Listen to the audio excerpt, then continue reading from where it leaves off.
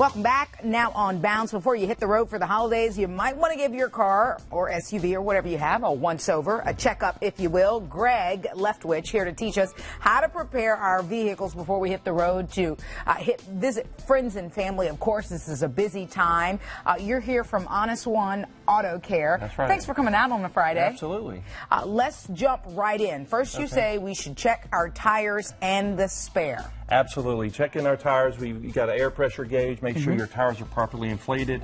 Underinflated tires can be very dangerous. Mm-hmm. So, and, and also, you know, having properly inflated tires actually um, can make your tires last a lot longer. So, proper balance and making sure your car is aligned properly will keep your family safe on the road. And, you know, I feel like with the warmer weather, we've been a little bit spoiled because um, it can sort of not let you know that there's a problem. Like the first time it got really cold, the little gauge came up in my car saying I needed to check my tire pressure.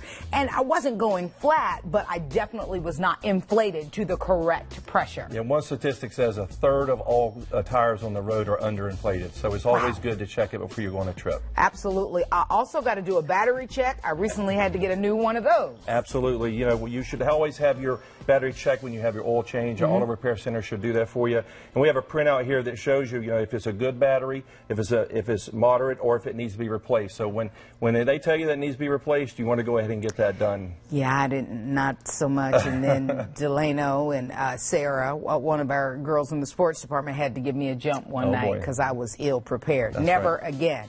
Uh, and then windshield wipers. Um, Win- Windshield wipers are often overlooked as well as our lights in our car. So it's always good to be able to see and be seen. So windshield wipers, they, they, they fray. They need to be replaced about twice a year. They're fairly inexpensive, but as it, as it gets colder and we get some sleet, maybe some snow, Yeah. you want to get that off the windshield to keep your family safe. and sometimes I feel like you don't really know how bad of shape your windshield wipers are in until it's raining or Right. you're dealing with some winter weather and it's leaving those terrible streaks and making that horrible noise. That's right. You know? So again, when your auto repair center does your oil change, they should be checking this on a routine basis to make sure that you're have your vehicle safe for your family. And let's talk about this emergency kit because when my coworker gave me a jump, I was in awe of the kit she had in her trunk. It included jumper cable. I mean, I want to say it included so many of the things that we're seeing right here. So break all this down for us. Absolutely, and you can pick up these at any, uh, you know, uh, Walmart or any any store, and you know you have jumper cables, which is always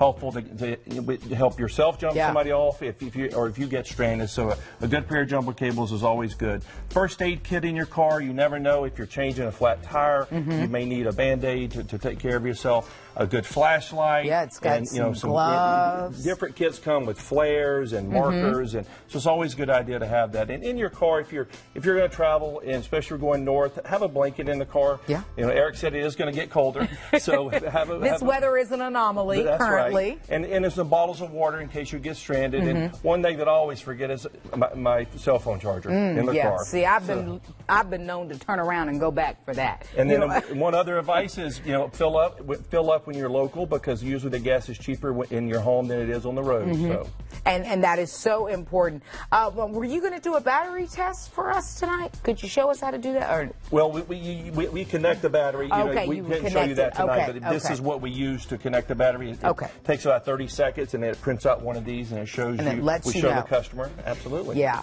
Uh, and for more information about all of this, go to WBTV.com, the web extra section under the homepage. Greg Leftwich from Honest One Auto Care. Appreciate you coming out on a Friday. Well, thank you. This is a lot of great information. Well, thank you so much. Thank you. Uh, stay with us.